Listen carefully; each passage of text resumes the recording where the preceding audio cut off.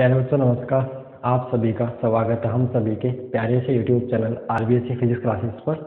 और आज के इस लेक्चर में अपन करेंगे आपके ट्वेल्थ फिजिक्स के चैप्टर नंबर एट के न्यूमेरिकल इससे पिछले वीडियो में अपन ने न्यूमेरिकल नंबर नाइन यानी आंकिक पर्सन नौ तक अपन ने सारे सवाल कर लिए थे। और आज के इस लेक्चर में अपन करने वाले आपका आंकिक पर्सन दस, ग्यारह और बारह का सॉल्यूशन तो देखिए, क्वेश्चन नंबर टेन कॉपी और पेन निकाल लीजिए और बुक साथ में लेके पढ़, बैठे जिससे कि आप सवाल पढ़ सको। सवाल क्या रखा है? उन्होंने बोला है कि four centimetre square four centimetre square अनुपस्थ काट क्षेत्रफल की लोहे की छड़, दस की घात तीन एम्पियर पर मीटर के चुंबकन क्षेत्र के समांतर है। यदि इसमें से गुजरने वाला चुंबकीय flux four into ten to the power minus four weber है तो पदार्थ की पारगम्यता आपेक्षिक पारगम्यता तथा चुंबकीय प्रवृत्ति ज्ञात की ऐसा इन्होंने बोला है। तो जो जो दे है, उसको अपन लिख लेते हैं, और फिर सॉल्व करते हैं। देखिए इन्होंने दिया फोर सेंटीमीटर स्क्वायर अनुपस्थ काट क्षेत्रफल, यानी आपको इसका क्षेत्रफल की वैल्यू यानी ए की वैल्यू दे रखी कितनी? फोर सेंटीमीटर स्क्वायर इसको मीटर में चेंज करेंगे तो सेंटीमीटर दस की घात माइनस दो का स्क्वायर करोगे तो आएगा four into ten to the power minus four metre square ये तो हो गया ए की वैल्यू आगे बोला, लोहे की छड़। दस की घात तीन, एम्पियर पर मीटर के चुंबकन क्षेत्र में। यानी ये आपको गिवन है कैपिटल एच चुंबकन क्षेत्र की वैल्यू दस की घात तीन, एम्पियर मीटर आपको दे रखी है। ठीक है, के समांतर है? इसमें से गुजरने वाला चुंबकीय फ्लक्स, यानी आपको फाइव बी मैग्नेटिक फ्लक्स की वैल्यू गिवन है। चुंबकीय फ्लक्स का माना गिवन है कितना? Four into ten to the power minus four weber तो बोला है तो पदार्थ की पारगम्यता, यानी अपने को we have to find out mu पदार्थ की पारगम्यता मतलब म्यू निकालना है। आपेक्षिक पारगम्यता मतलब म्यू आर निकालना है। और चुंबकीय प्रवृत्ति में आपको जो ये काई जी टाइम या एक्शन इसको बोलते हैं, ये अपने को निकालना है। तो सबसे पहले अपन बात करते हैं चुंबकीय पदार्थ की पारगम्यता तो ये होती है mu equal to B by H H जो है अपन बी निकालते हैं। बी कैसे निकालते हैं? समांतर mean phi equal to B upon use कर सकते हैं। यानी phi equal to B into A B जहाँ पे क्या हो? चुंबकीय क्षेत्र। और ए यहाँ पे क्या है? क्षेत्रफल। और ये फाइव क्या यहाँ पे? चुंबकीय फ्लक्स है। तो चुंबकीय फ्लक्स का मान उन्होंने देखा phi B four into ten to the power minus का फोर बी की वैल्यू भी अपने को बी की वैल्यू इन्होंने नहीं दिए तो यहाँ से अपन क्या निकालते हैं? बी निकाल लेते हैं, जिससे कि म्यू निकाल सके। तो बी इंटू ए कितना है? ए आपका है four into ten to the power minus का फोर तो यहाँ से हम सोल्व करेंगे। तो अपने को बी की value four into ten to the power minus four समझ गए आप? और ये नीचे आ जाएगा four into ten to the power four तो कितना बनेगा? वन टेस्ला यानी बी की वैल्यू आगे वन टेस्ला क्लियर है? वन टेस्ला इसका मात्रक अगर आप इसके रूप में लेना है तो ये देखो वेबर इसने इसका मात्रक दिया है कितना? वेबर ठीक है वेबर पर, या इसको आप वेबर पर मीटर स्क्वायर भी बोल सकते हो। टेस्ला बोल दीजिए वेबर पर मीटर स्क्वायर भी बोल सकते हो। इन टर्म्स ऑफ़ वेबर चुंबक के फ्लक्स के मात्रक के रूप में इसका मात्रक किसका? चुंबकीय क्षेत्र का टेस्ला होता है, न्यूटन पर एम्पियर मीटर होता है, या इसी को अपन वेबर पर मीटर स्क्वायर बोल सकते हैं। बी आ गया। तो देखिए म्यू निकालना आसान है म्यू क्या होता है, यानी इसकी पदार्थ की पारगम्यता, लिख देना पदार्थ की पारगम्यता म्यू ये होता है बी बाई एच अब बी की वैल्यू यारी कितनी? वन वेबर पर मीटर स्क्वायर और एच की वैल्यू यारी कितनी? Ten to the power three ampere पर मीटर अगर मात्रा की बात करें तो इसका मात्रक अपन लिख सकते हैं कितना? मात्रक आएगा न्यूटर पर एम्पियर स्क्वायर या यहाँ से लिखें तो देखिए ऊपर क्या है? वेबर पर मीटर स्क्वायर और नीचे क्या है? एम्पियर पर मीटर है तो यहाँ से इसका मात्रक बन जाएगा कितना? वेबर वेबर पर मीटर स्क्वायर, और ये मीटर चला जाएगा ऊपर तो वेबर पर एम्पियर, वेबर पर एम्पियर इंटू मीटर। तो यहाँ से आएगा। इसको आप ten to the power minus three कर दीजिए, कैसे? प्लस का थ्री ऊपर जाके माइनस का थ्री और आप इसको बोल सकते हो वेबर पर एम्पियर इंटू मीटर, आप इसका मात्रक बोल सकते हो। एक आंसर आपका आ गया ten to the power minus three weber पर एम्पियर इंटू मीटर। ये आपका फ़र्स्ट आंसर न्यू की वैल्यू न्यू मतलब पदार्थ की पारगम्यता म्यू का पहला आंसर आपको क्लियर चलिए, ये हो गया, आगे बोल रहा है आपेक्षिक पारगम्यता। तो आपेक्षिक पारगम्यता आपको निकालना है, यानी म्यू आर निकालना है। तो सेकंड ये आपका first answer second mu R निकालना। तो म्यू आर क्या होता है? म्यू आर आपका होता है म्यू अपॉन म्यू नोट जहाँ पे म्यू नोट माध्यम की, यानी माध्यम में पारगम्यता और म्यू नोट निर्वात की पारगम्यता, चुंबक की पारगम्यता, चुंबकशीलता। इसका मान फिक्स होता है।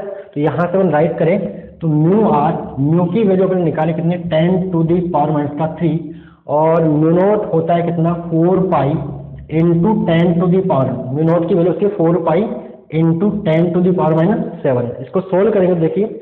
ये आएगा one upon four pi into में माइनस थ्री माइनस सेवन जब ऊपर जाएगा तो बनेगा ten to the power four तो वन अपॉन फोर पाई की वैल्यू आती है अपन जानते हैं zero point zero seven nine six. कितनी आती है?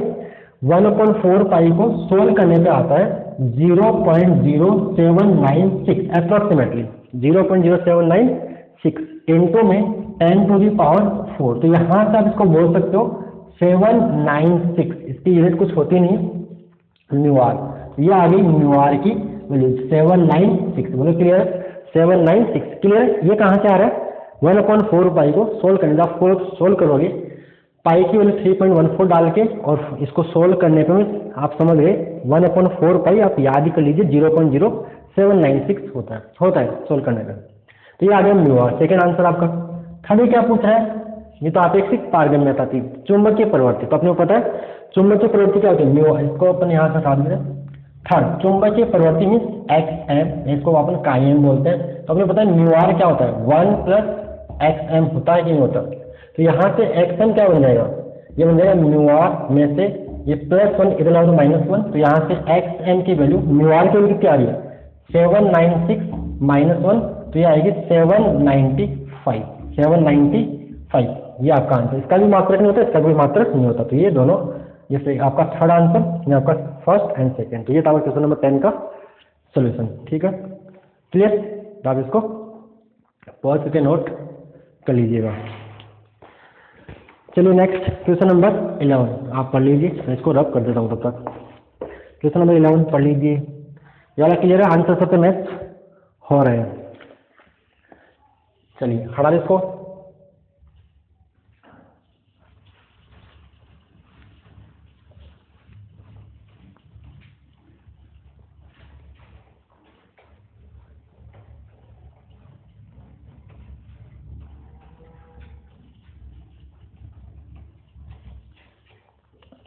देखिए क्वेश्चन नंबर इलेवन क्या बोला इन्होंने? इन्होंने बोला है कि एक वर्ताकार कुंडली की त्रिज्या 0.05 मीटर जैसा देखा सारी बातें लिखते जाते हैं, आपको देखा है वर्ताकार कुंडली की त्रिज्या, एक कोई सर्कुलर कोयल है, question number eleven solution chapter number eight जो देखा देखो आर फॉर रेडियस यानी आपको त्रिज्या given R for radius 0.05 metre तथा फेरो की संख्या हंड्रेड है, यानी आपको capital N number of turn फेरो की संख्या देखिए सौ है, ठीक है? इसमें से 0.1 पॉइंट वन एम्पियर धारा बह रही है यानी आपको करंट की वैल्यू गिवन है कितनी? आई की वैल्यू गिवन है 0.1 एम्पियर धारा बह रही है। तो इसे 1.5 टेस्ला वाले चुंबकीय क्षेत्र के लंबवत यानी आपको बी की वैल्यू गिवन है कितनी? बी की वैल्यू गिवन है 1.5 टेस्ला वाले बाह्य चुंबकीय क्षेत्र के लंबवत इसकी एक्स के सापेक्ष, इसकी एक्स के सापेक्ष 180 डिग्री घुमाने में कितना कार्य करना पड़ेगा? और कुंडली का तल प्रारंभ में क्षेत्र के लंबवत है। कुंडली का जो तल है, वो प्रारंभ में क्षेत्र के लंबवत है। ये मान कुंडली है और इधर से चुंबक के क्षेत्र है। और ये ऐसा कुछ है, लंबवत ऐसा 90 पे। और इसको इसकी एक्स के सापेक्ष एक्स के सापेक्ष 180 डिग्री, यानी इसको एक्स के सापेक्ष 180 यानी 180 ये 90 और ये 180 यानी शुरू में ऐसा जो लंबवत है थीटा कितना हो गया? ज़ीरो डिग्री थीटा मतलब क्या होता है? क्षेत्रफल सदिश और चुंबकीय क्षेत्र सदिश के बीच का कोण। ज़ीरो से एक सौ अस्सी घुमाने में किया गया कार्य आपको निकालना मतलब। तो यहाँ पे देखो थीटा वन हो जाएगा ज़ीरो डिग्री और थीटा टू हो जाएगा एक सौ अस्सी डिग्री तो कार्य क्या होता है? W equal to M D cos theta one minus cos theta two formula अपन ने पढ़ रखा पहले से राइट अपन चैप्टर थर्ड इलेक्ट्रोस्टैटिक में पढ़ा था P E cos theta one minus cos theta two और यहाँ पे पी कीजिए क्या आ गया? एम भाई वहाँ पे विद्युत दूर आगुण यहाँ पे चुंबकीय आगुण अब सब देखिए, अब कुंडली के लिए एम क्या होता है? तो कुंडली के लिए एम होता है एन आई ए बी कुंडली के लिए जो एम होता है, वो एन आई ए होता है। एन आई जहाँ पे एन उसके फेरों की संख्या आई उसमें बहने वाली धारा और ये उसका क्षेत्रफल। इन टू में cos theta one minus cos theta two सारी वैल्यूज़ आपको गिवन रख दीजिए। एन की वैल्यू कितनी गिवन है हंड्रेड आई की वैल्यू ज़ीरो पॉइंट वन अब कुंडली है तो इसका एरिया क्या होगा? आप एक बार ऐसा कर लीजिए N is equal to N I A area जगह पाई आर स्क्वायर कर दीजिए। भाई कुंडली है, वर्ताकार कुंडली है। तो वर्ताकार कुंडली का क्षेत्रफल क्या होता है? पाई आर स्क्वायर तो एन ए की जगह पाई आर स्क्वायर इंटू में बी और यहाँ पे आएगा cos theta one minus cos theta two चलिए, अब सारी वैल्यूज़ पुट कर दीजिए। एन की वैल्यू कितनी है? हंड्रेड आई की वैल्यू कितनी है? Zero point one pi three point one four and R की value zero point zero zero point zero point zero five का स्क्वायर इंटू में बी बी भी गिवन कितना? One point five tesla into में cos theta जाएँगे cos zero degree minus cos theta two एक सौ अस्सी डिग्री तो देखिए यहाँ पे, इसको सोल्व आउट करेंगे तो यहाँ से zero point one into ten आपका बचेगा ओनली टेन यहाँ से, ये थ्री पॉइंट वन फोर इसको सोल्व आउट करेंगे तो आएगा, देखिए आप इसको बोल सकते हो five into ten to the power minus two का स्क्वायर कर लीजिए और इंटू में वन पॉइंट फाइव इसको अपन सोल्व कर सकते हैं।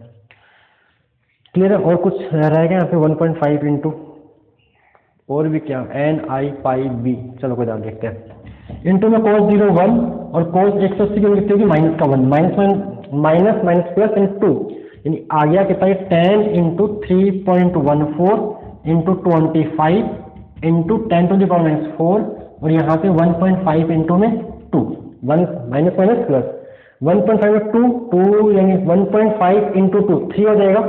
तो ये ten into three point one four into twenty five minus four power ten के पावर माइनस फोर इंटू में थ्री अब इसको सोलह का जब करेंगे अपन। तो ये अपने पास बचेगा three point one four into में ट्वेंटी फाइव इंटू में थ्री और पावर की बात करें तो टेन की पावर माइनस थ्री आ रहा है। तो ये इसका आंसर जो भी आएगा जूल में, अब इसको सोल सोलह आप कर लोगे ट्वेंटी यानी इसको three point one four into seventy five कर लेना। ठीक है? इतना तो कर लोगे मल्टीप्लाई करना है कि जूल इसको मल्टीप्लाई करने के जो आंसर आएगा सेवेंटी फाइव इंटू कर लोगे seventy five into three four पहले आप जैसा भी करो तो seventy five into three point one four करने का अपना जो आ रहा है, वो आ रहा है two three five two three five point five into में ten to the power minus का थ्री जूल है। तो इसको हम सोल्व करें तो इसको हम बोल सकते हैं कितना? इसको हम बोल सकते हैं कितना? ज़ीरो पॉइंट यानी हम ज़ीरो पॉइंट समझ पावर तो यहाँ पावर नेगेटिव है तो डेसिमल के लिए तीन स्थान के बाई किसके नहीं किसके का किसके का तो zero point two three five five zero point two three five five joule this is your answer अब बुक में आंसर जो गिवन है, वो गिवन है। Zero point two three six तो इसने पूर्णांकित करके आंसर तीन स्थान पर इसने पूर्णांकित कर दिया है। कैसे? किसको पूर्णांकित करना है? इसका अगर पाँच है। इसके पहले क्या विषम है तो इसको अपन राउंड फिगर में zero point two three six बोल सकते हैं। बोलो इसलिए पूर्णांकित कर दिया पाँच को। कैसे कि पाँच के आगे वाला पाँच है। जो मतलब पाँच है तो इसके पहले क्या विषम है तो इसको अपन इससे बढ़ा देंगे। Zero point two three six joule answer इसका question number eleven clear okay आगे बात करते हैं कौन सा? Question number twelve question number twelve solution ये वाला क्लियर है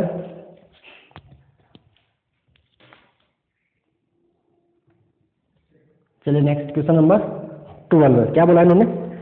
एक कुंडली एल बुझा के संभव त्रिभुज के रूप में। एक कुंडली है, वो एक एल बुझा के ऐसा उन्होंने बोला है कि एल बुझा के संभव त्रिभुज के रूप में। कोई ऐसे कुंडली है जो इसका जो शेष है, वो इक्विलेटरल ट्राइंगल संभव त्रिभुज के रूप में, तथा बी चुंबक के क्षेत्र में लटकी है।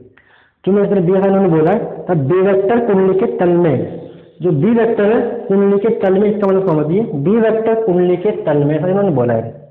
कि मान लो ये कुंडली है, ये कुंडली है, और बी वेक्टर ये बी वेक्टर है, ये मार्कर बी वेक्टर है। कुंडली के तल तल में मतलब ऐसा है। कुंडली के तल में मतलब ऐसा है। ऐसा नहीं, ये लंबवत है।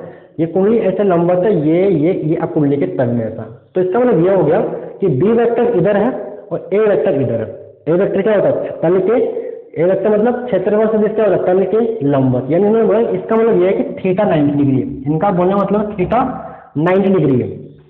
पहले पड़ेगी बात बी वेक्टर कुंडली के तल में है तो क्षेत्र सदिश बी वेक्टर के लंबवत पर थीटा हो गया 90 डिग्री ठीक है? यदि कुंडली में आई धारा बड़ी ठीक है? मान लेते पर आघूर्ण, बल आघूर्ण तो लगे तो त्रिभुज की भुजा ज्ञात करो। तो बल आघूर्ण का फॉर्मूला क्या होता है? बल आघूर्ण स्टो का फॉर्मूला क्या होता है? तो होता है एम बी साइन थीटा बोलो, ये होता है एम बी साइन थीटा तो tau is equal to M B sine theta sine कितना रखा नाइनटी तो टो क्या हो जाएगा यहाँ से? एम इंटू में बी अब कुंडली के एम क्या होता है? अभी देखा था अपन ने। एम क्या होता है? एन आई ए तो यहाँ पे M is equal to N I A होता है कुंडली के लिए एन आई ए तो टो क्या आएगा? एन आई ए बी ठीक है ये क्या होता है? क्षेत्रफल किसका? कुंडली का और कुंडली कैसी है, संभाव त्रिभुज तो संभाव त्रिभुज का क्षण क्या होगा? Root three by four भुजाई square root three by four A square तो यहाँ आप एक ही जगह राइट कर सकते हो root three by four into A square तो वजह क्या है? एल स्क्वायर इंटू में बी बोलो क्लियर है? अपने को क्या चाहिए? एल की वैल्यू चाहिए तो अब सोल्व कर लीजिए इसको। तो एल की वैल्यू जो मैंने सही होगी। और इसने क्या बोला? अब इसमें एन कितना है? एन इसका एक है। संभव त्रिभुज के रूप में, और संभव त्रिभुज यानी इसमें एन आप एक कर सकते हो। इसमें एन कितना है एन है one into I A B भाई, संभव त्रिभुज संभव त्रिभुज के रूप में। ऐसा तो बोला संभव त्रिभुज के रूप में, यानी एक ही लोप है इसके अंदर एक ही यानी गहरा एक ही हुआ ना संभव त्रिभुज तो एन का मान हो गया वन आपने उसे एन तो इसको सोल्व करेंगे, देखिए, इधर आ गया कितना, इसको सोल्व करने वाले यहाँ लिख रहा हूँ फोर इंटू में टू और यहाँ पे क्या आएगा? I root three B root three I into B बराबर क्या बचेगा? एल स्क्वायर इसको मैं यहाँ लिख रहा हूँ एल तो यहाँ से एल क्या आएगा स्क्वायर रूट के अंदर फोर टू रूट थ्री और इंटू में आई बी तो रूट चार मतलब वर्गमूल के अंदर चार बाहर कितना आएगा दो तो रूट के अंदर two upon root three root के अंदर रूट थ्री है आई बी तो इसको आप सोल्व ऐसा लिख सकते हो L is equal to two two upon root three I B की पावर वन बाई टू कर सकते हो। की पावर वन बाई टू आप कर आई या बी आई की बात है। भाई वर्गमूल मन का पावर वन बाई टू अब इस फॉर्म में लिख सकते हो। तो भुजा ज्ञात करो तो ये आगे इसकी, संभव त्रिभुज की तो भुजा एल ये आगे। एल की वैल्यू टो और रूट के अंदर two upon root three I भी और इसको लिखने का ऐसा भी एक तरीका होता है तो इसने बुक में इस फॉर्म में लिख के दिया है। ये थे आपके न्यूमेरिकल्स चैप्टर नंबर एट के कंप्लीट ठीक है? ओके वेल बच्चों धन्यवाद।